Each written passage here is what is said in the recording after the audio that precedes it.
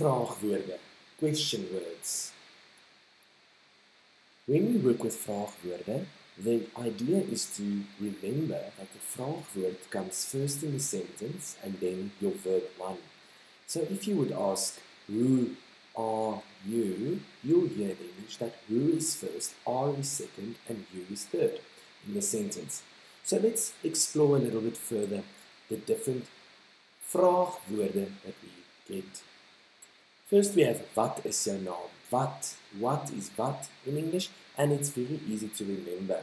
The next one, waar bly jy? Waar is where? Wanneer verjaar jy? Wanneer means when.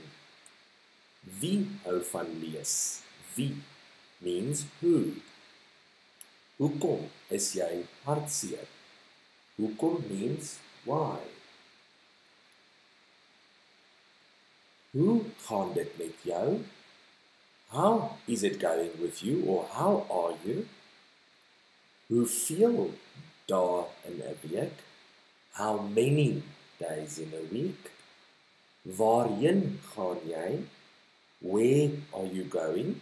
Waarheen and waar is very similar, but sometimes we can use waarheen to be more specific. Now let's see. Wat is jou naam?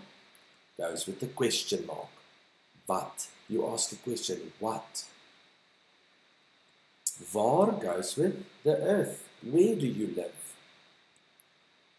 Wanneer verjaar jy? Goes with the birthday cake. Wie hou van lees? It refers to a specific person or a name. Wie? Who? Oh, and there's another one. Hoe laat is dit?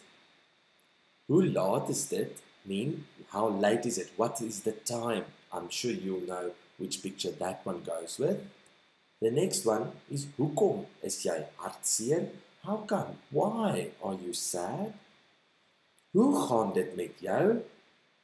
How is it going with you? Hoeveel dae in 'n week? How many days in a week? And waarheen gaan jy? You ask a question. Where are you going to?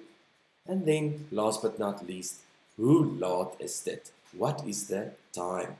Let's see if you can see you can um, answer these questions. Wat is jou naam? My naam is and then you answer. The important thing to note here is that you can see that when we answer our question, we use the uh, words that was in the question as well. And we start with our subject again. My naam is comes from naam. You take naam out of the question and you use that as your subject. What is your name? My name is, etc. Let's see what the answer is. My naam is Bella. Waar bly jy? The jy changes to ek. Where do you live? I live in ek bly in. Please note that we take the bly with us. The is in my naam is Bella. We took from wat is jou naam? Ek bly in. We take the bly from the question. Ek bly in 'n groot huis. Wanneer verjaar jy? Ek verjaar die. We again we use the jy in to change the jy into ek. Verjaar we keep and then you say I it's my birthday on the and then you answer 1 Augustus in my case. Wie hou van lees? Who likes reading? Answer with ek. I ek hou van lees. Hoekom is jy hartseer? Look at this example. Hulle answer this sentence in the negative. Ek is nie hartseer nie. Hoe gaan dit met jou? How is it going with you? How are you? Dit gaan goed met my. Dankie. Hoeveel dae is daar in 'n week? Daar is 7 dae in 'n week. Waarheen gaan jy? Ek gaan badkamer toe. Hoe laat is dit? Dit is nou 10 uur. So you can pause the video every time the on before the answer comes and see if you can do that by yourself.